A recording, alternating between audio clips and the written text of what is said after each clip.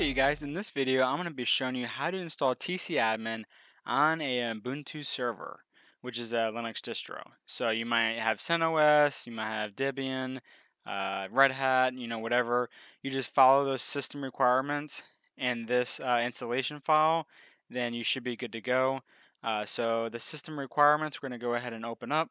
So it does require uh, Mono 6.0 or greater.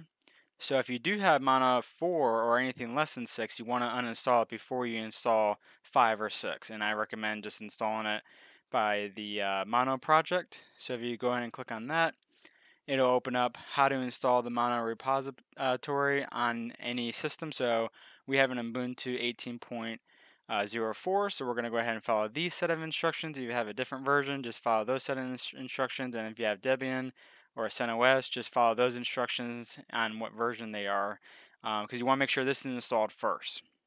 So I'm going to go ahead and open up PuTTY and we're going to go ahead and connect to our development uh, VM here. Go ahead and hit yes, that's fine. And then we're going to go ahead and log in as root. And then our password. All right. So once we get connected here, we're going to go ahead and run our first uh, set of commands here, which I put in a notepad document. Um, so I will have this in the uh, description of the video to kind of help you. First, you want to do any updates that are pending. Uh, so we'll go ahead and execute that command. And then we can go ahead and start the process by installing some of the pre-requests. This could take a little bit, so I'm going to go ahead and pause the video. Uh, but like I said, if you literally just follow, if you have Ubuntu 18 and you literally follow these set of commands and just copy and paste them into the um, SSH tunnel, I mean, you have a working TCAdmin. Alright, I'm going to go ahead and pause this and we'll continue when we're done. Alright, it just got done, so now we're going to go to our third command here. Just copy and paste. This is going to install the mono latest version. And then you're going to run these uh, commands because these are just pre-requests uh, that TCAdmin recommends. So we're going to go ahead and execute these commands once this is done. So like I said, this will take a little bit uh, to get done. So I'm going to go ahead and pause it again and continue when it gets done. Alright, that is now done. So like I said, we're going to go to their next step here. Install their certificate run this next one.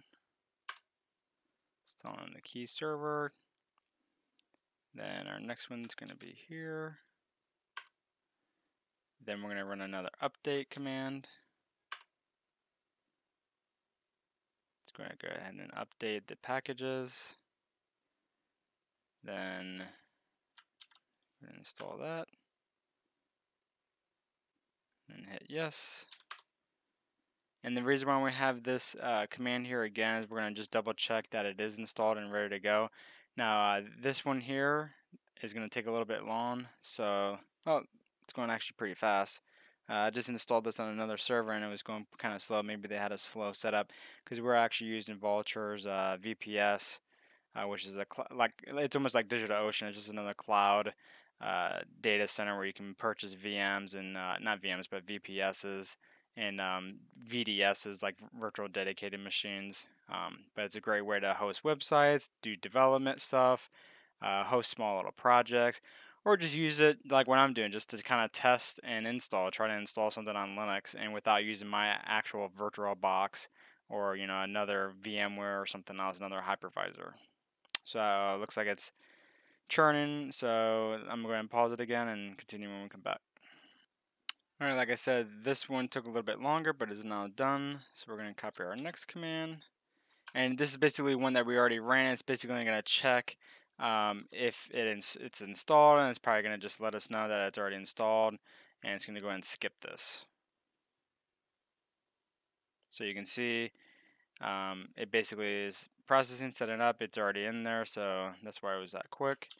So we need to install this next part here which is another pre-request. Go ahead and install that. And then once this is done, then we can go ahead and do another update. I recommend doing another update here. Uh, make sure we, we are good to go. And then we can go ahead and execute the TCAdmin installation, which pretty much installs it uh, ready to go. Um, so this will take just a little time, um, but like I said, it's going to install everything automatically, and you can see, boom, it's already done. So it was that quick. So you can see the monitoring service has been installed successfully. The manager servers, as long as you see those successfully done, and then they start successfully, you're pretty good. Um, so you can do another update, but I mean, I think we're okay at this point. So let's go ahead and go to a new tab, type in the IP address of the um, server, and then you want to do colon 8880. So three eights and then a zero because that is the default port for TCAdmin. So we're going to put that in there and hit enter, and we should get a TCAdmin login screen. And if you get this, perfect. if not, go into your Linux server, make sure Mono is installed properly because that's usually the biggest thing I've seen. You don't have that installed. Check the logs. Um, you know, go through your due diligence on that part. But the default login is admin, and then the password is password. So let's go ahead and hit login. And there you have it, you guys. We're all logged in, and now you can go ahead and put in your TCAdmin license here. You make this to your master server, um, or if you're installing a remote server, and then this is where you're typing your license key and, and activate the software. Um, go to TCAdmin if you need to get a trial, because they do offer a, I think, 14 or 30 day trial. I'm not sure on that, but go to their website for that information. And there you have it, you guys. This is how to install TCAdmin on an Ubuntu, but it's pretty straightforward. Installing it on uh, Debian or CentOS. You install Mono first. Please install Mono first. Do any updates, then run the TCAdmin installation. And to find the different TCAdmin installations, just go to their website, go to System Requirements, and you can see what else they might need to be installed for those different um, Linux distros. And you just literally just follow those commands and install them. I'll go ahead and copy this and put it in the description of this video. So if you are doing Ubuntu, I'll have step-by-step -step instructions for you. Um, so you, there you guys have it. It was not too hard. Uh, just follow these instructions if you're doing Ubuntu. If not, follow, look at the documentation for uh, anyone else. Um, thank you for watching this video. See you in the next one.